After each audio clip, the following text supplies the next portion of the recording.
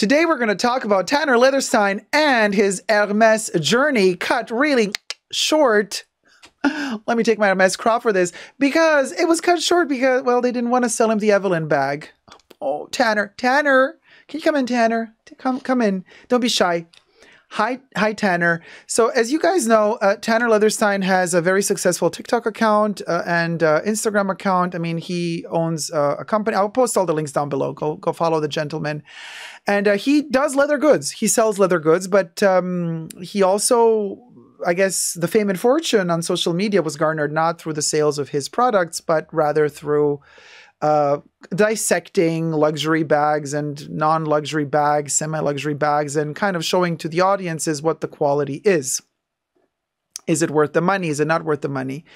So uh, I, I can tell you this much: uh, when Tanner cut out, um, cut up uh, in pieces um, a Chanel wallet, y'all have been bombarding me with that video for months. Uh, still to this day, sometimes people send me, Dacob, have you seen Tanner cutting up a Chanel wallet? Like, yes, I have seen Tanner cutting up a Chanel wallet thousands of times.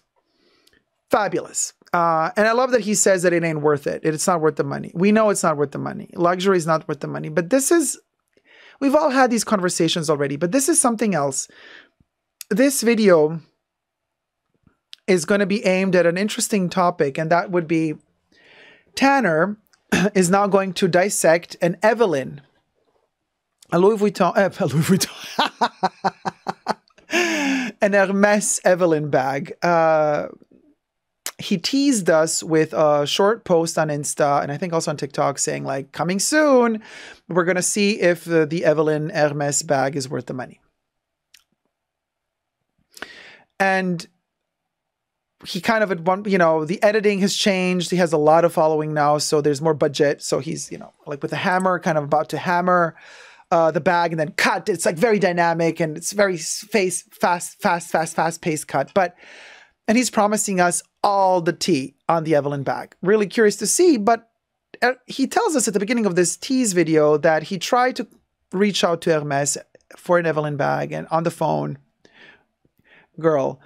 That's you know that's not how it works with Hermes unless you're not really famous. Okay. So anyway, so Hermes says, "Oh no no no no, we do not uh, tell you how much it costs. We don't tell you what we sell. If we sell, we don't have. Oh oh mon Dieu, how dare you call us on the telephone?"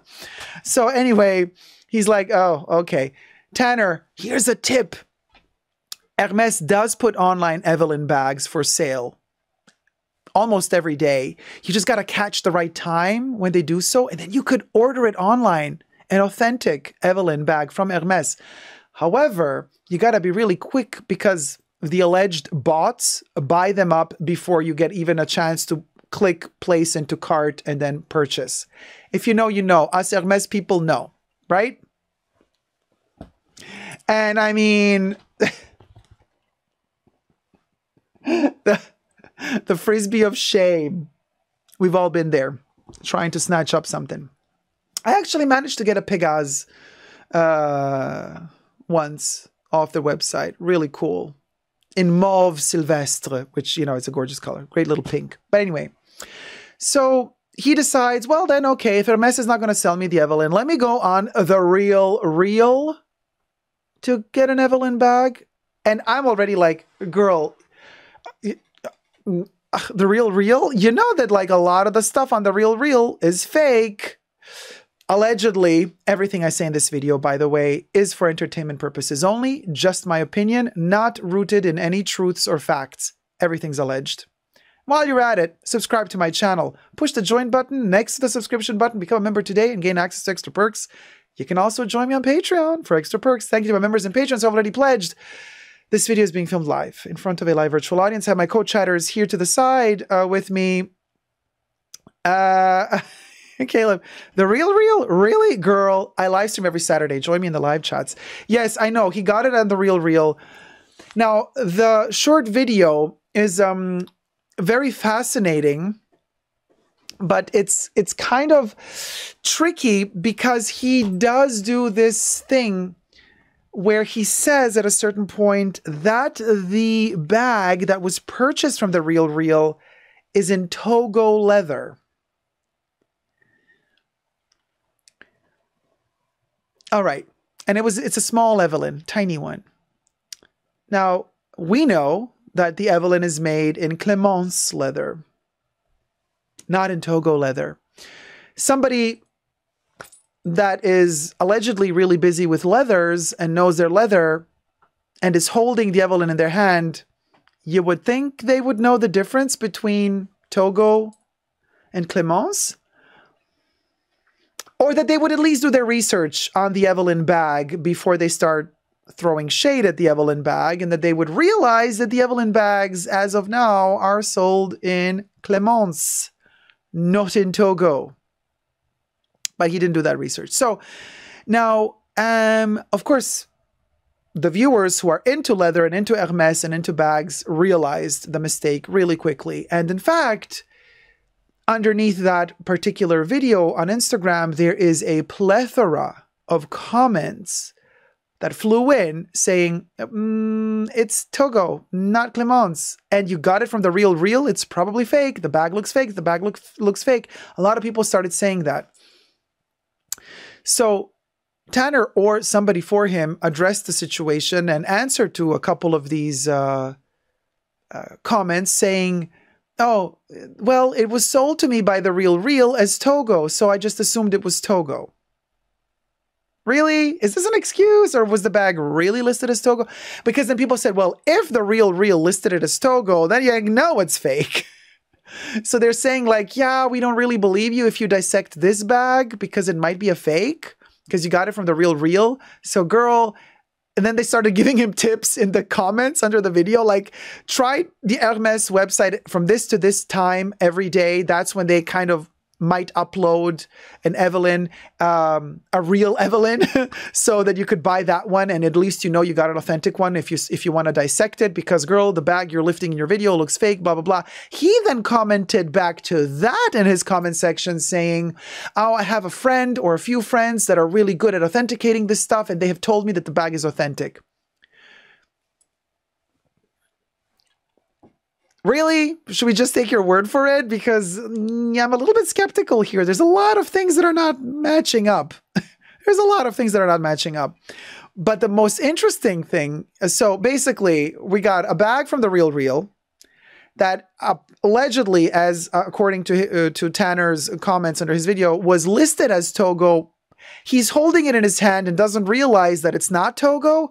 Yes, Togo is similar to Clemence from a distance, but an expert eye should know the difference between Togo and Clemence once they have it in their hands. Wouldn't they know the difference?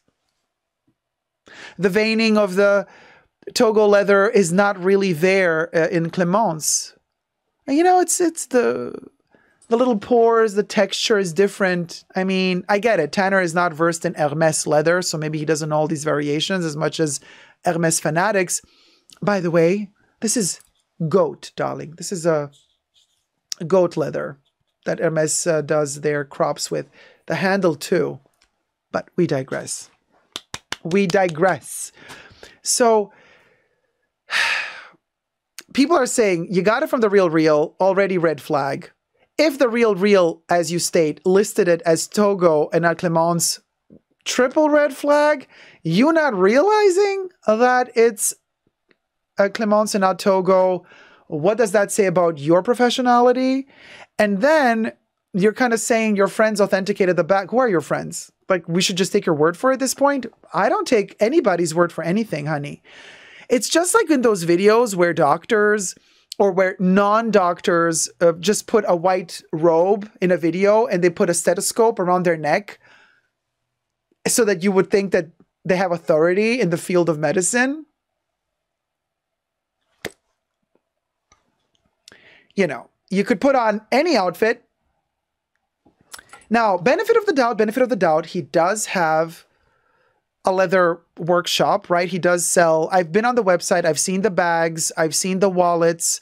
They look sturdy, but I haven't touched one. Uh, it hasn't gone through my hands, so I don't know how, you know, I don't know what the quality is ultimately. But I got a little receipt here. Uh, I stumbled upon uh, one of the comments underneath that particular video that Tanner Leatherstein did on his Reels and TikTok announcing the upcoming uh, analysis of the Evelyne Hermes bag. So somebody says, uh, and this is kind of fascinating. Where do we begin? So somebody says to Tanner, you know, there's a way you could be making millions. You obviously have the materials and requisite knowledge. And somebody else commented, yep, I get what you're trying to say. So, what they're trying to say is start making replicas, honey. Then somebody else adds to that and says, I doubt he can replicate the stuff Hermes makes. No offense, but Tanner doesn't seem to have the skills needed to make a refined luxury product. Now, here comes the shade. um, and then somebody says, That's so funny. He's got an entire staff who are making products. You've bought into the marketing promo materials and sales associate spiels about craftspeople. They are craftspeople with outstanding skills, but they're also trained, and anyone with dexterity and commitment can be trained. There's nothing genetic. Uh, LL Bean boots are handmade on 120 years old special leather sewing machines with certain finishing by hand. You don't really think Chanel and Dior are quilting products by hand? Chanel is not quilting products by hand. They are even photographing machines doing, like, Chanel is not hiding the fact that the quilting is happening with machines. They actually post those photos uh, openly. Chanel is not hiding it. But anyway. Um, somebody then says, answers to that, sorry, I don't get the point you're trying to make. Here, here's where it gets juicy. Obviously, people are trained, but who's going to train them? Who will train Tanner?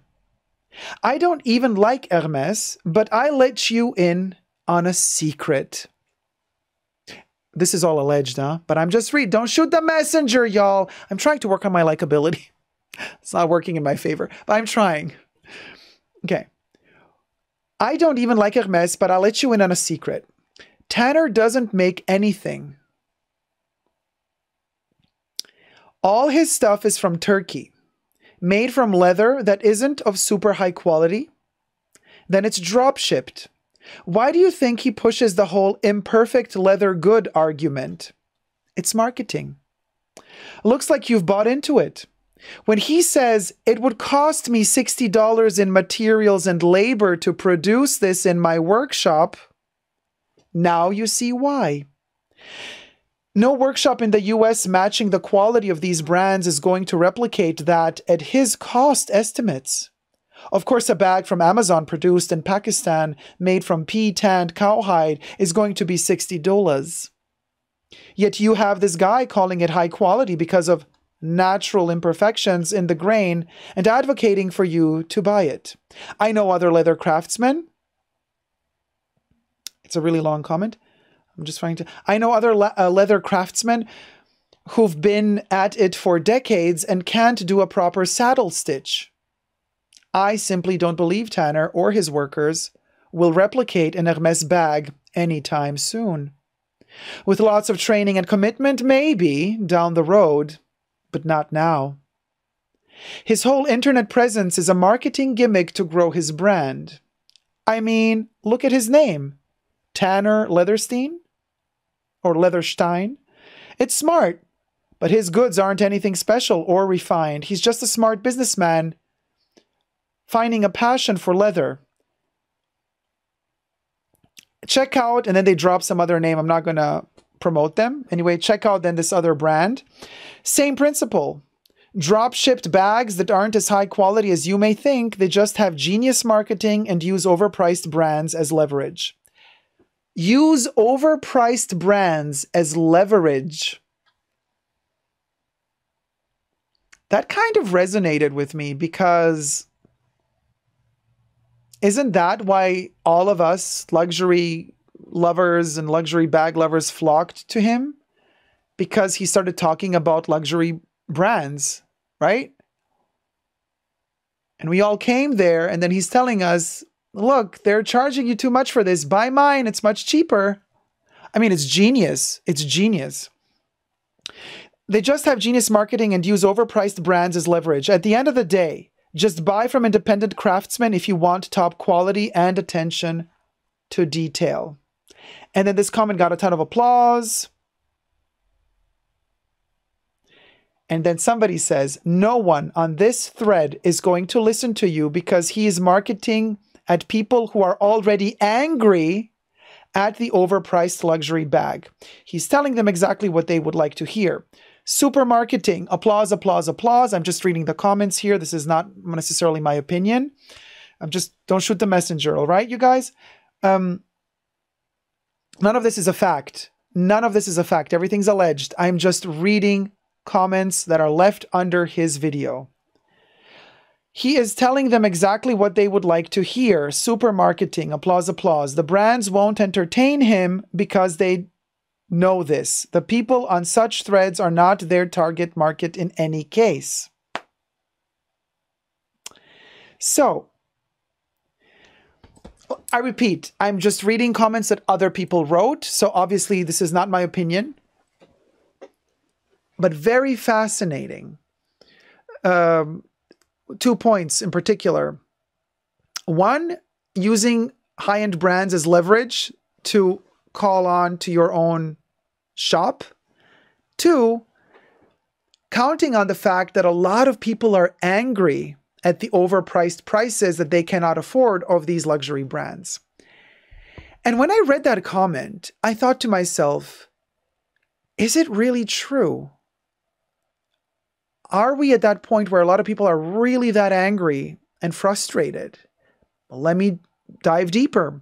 So I started scrolling through the comments section under that particular video, and lo and behold, one after the other, angry, angry, angry comments of people saying that they don't like the prices they they don't like Hermes anyway good you know bring them down tear them down you know bring them all down you know there's a lot of this kind of like mass hysteria like a mob mentality type of attitude where people are like joining forces to say tear them to shreds. You tell him you show him tanner. Very very fascinating mob mentality building here. Now um in terms of uh, how Tanner goes about talking about, you know, like this commenter also said, well, uh, the you know it doesn't cost that much to do this leather. The leather is going to cost you this much. Labor is going to be like this much. You know, other luxury YouTubers have commented on this. One of them being Jessie Style. Hi, Jessie. By the way, shout out to Jessie. Go subscribe to her channel. She's awesome. She made a really interesting video about this, saying you guys don't forget she also talked about tanner in her on her channel and she said don't forget you guys that a lot of these brands also charge these prices for several reasons one of them being that they've been working for decades and decades and decades to build up their reputation. Do you know how many millions and billions they had to invest into building up that reputation? That's a lot of money. That's a big investment to make. It has to pay off sometime of course, they're all earning a lot of money, and it did pay off in the end for sure, and then some. Not not negating that, but these high-end luxury brands have hyper luxurious stores. Those don't come cheap. They do they do changes in their merchandise, their windows, almost on a weekly basis. They put entire installations in their windows, incredibly elaborate, intricate installations in their windows, in their boutiques, in their shops. That costs a lot of money. They don't own all those buildings, they rent also in the most luxurious parts of town. That costs a lot of money.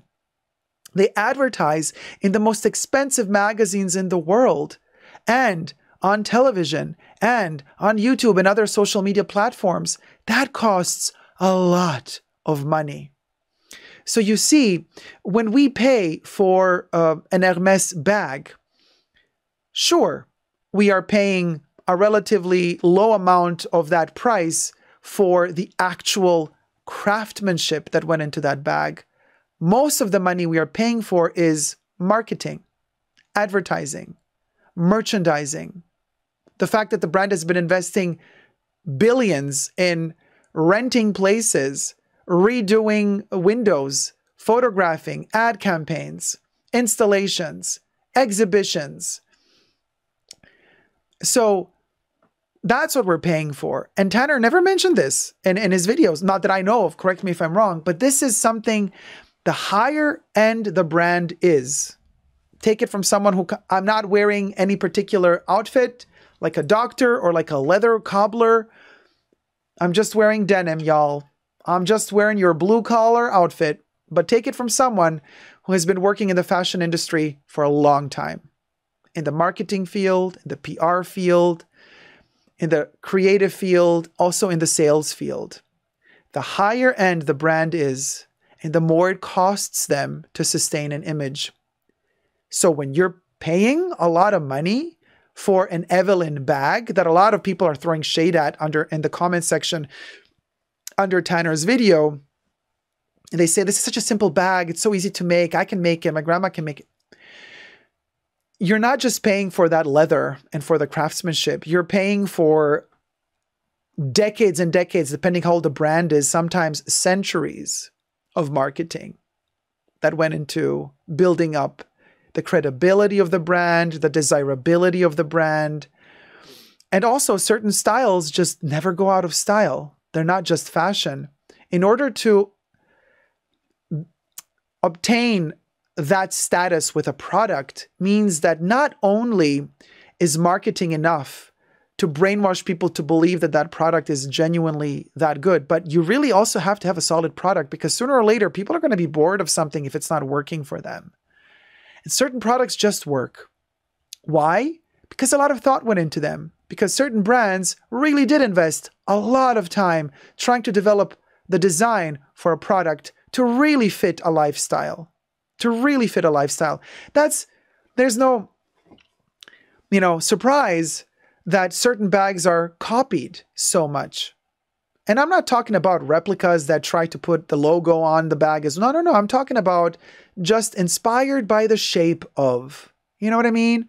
The dupes that are legal because a lot of these brands do not put a copyright on a shape because it would just be impossible to copyright that. So the trapezoid shape of a bag, which is the typical shape of a Kelly and a Birkin as well, it's not copywritten. Anybody can do a trapezoid bag. So you could it's easy to make it look like a Kelly and still be legally allowed to sell it. You just you can't call it a Kelly, you can't put the Hermes logo on it. And they also sell because it's a practical bag. Because a brand like Hermes put a lot of time designing a bag that really works for day-to-day needs. There's a lot to be said about that. Nowadays, a lot of brands don't invest the time anymore and the money in creating a product that really suits our modern needs. I applaud the brands that manage to do it, that really invest the money, big money, and time to deliver a flawless product that really, really matches your needs. Most of them don't because now they have to do 10 collections a year. There's no time to think about that stuff, right? So that's why I think one of the reasons, not just the recession, but another big reason why we are receding back to this quiet luxury is because we're so tired of these semi thought through seasonal products that are super crappy. They're not thought through very well. They fall apart easily because they're not constructed to last. They might be nice for photogenic for a photo shoot. Instagram, yay, great. Let the influencers eat cake, darling. But then what? The actual real consumer is left with a product that is really subpar because it wasn't thought through. So we're dumb once, we're dumb twice, but you know, at, after a certain point, we also realize, well, hold on a minute, hold on a minute. Let me, let me just buy what I know works. And all of us, well, a lot of us, are going back to the heritage pieces of the brands the stuff we know works, the stuff we know has been around for a long time. And we stick to them and ultimately spend a premium price for them because we also know there's a guarantee of time that comes with these products. And especially when it comes to Hermes, because, you know, at Hermes, they always say luxury is something that you can always repair. This is something that Hermes always tells you. It's a beautiful thing to think about taking your Kelly back to the Hermes spa 20 years after you bought it, and they're still going to touch it up and fix it for you. Because they say luxury, true luxury is something you can repair, right? And this is something that I would wish this gentleman would also kind of bring into the conversation when he talks about these brands and when he judges them and when he dissects them. Anyway, my apologies if I wasn't uh, likable enough. It, it, just it is what it is, you guys. Uh, Dacob spoke with insights, says Almo Pradana, articulation and responsibilities like someone who has five million subscribers should respect. Thank you so much. Thank you. Very kind of you. Thank you for the comment. Um, so I'm just saying it all comes at a cost. I'm trying to see what other comments we got here. Uh, oh, really? I don't know. Caleb says that. And didn't he wear actual sneakers in a tannery video with blood and mess all over the floor? I have not seen that. Caleb says, yeah, he did in, uh, did a video in a tannery with a guy dressed appropriately, and he was in his Nikes. well, okay. I didn't see that video, but thanks for letting me know. I'm gonna try to check it out. If you send me a link for that to that video and uh, Caleb in the in the um, uh, send me a message if you if you can. Uh, right, that's when I figured it all out. Says Caleb. Ah, gotcha. Let me know your thoughts in the comment section down below. I just to be very clear, you guys, I, am not throwing shade at Tanner. I wish him all the success in this world and all the money in this world. I just want to start an honest conversation where we can be transparent about the practices that are going on here. Like, what is the end goal? Like, is Tanner trying to show us the lacking of certain aspects of luxury products so that we start buying his products? Or is he just really fighting for the consumer? You know, because he does like to portray himself as a family guy, right? His Instagram, his profile picture is a sunset with the family, the kid, the wife, or partner. You know, it, it's it's all so perfectly constructed to feel like you trust the, him. Almost too perfect. And, you know, so that's it. Uh, Diane says he's only talking about the quality, nothing else. I like him. I feel sad when people badmouth him. I'm not bad mouthing him, Diane. You guys, our society is forgetting to utilize critical thinking. Please do not let brands brainwash you into passivity. Critical thinking is vital if we as consumers are to survive in this very aggressive, marketing driven world. What does marketing do? It finds your weakness, it exploits it to the benefit of the brand that is selling the product to you, no matter what the brand. Thank you guys so much for watching. Food for thought. Let me know your comments down below. Thank you. Uh, subscribe.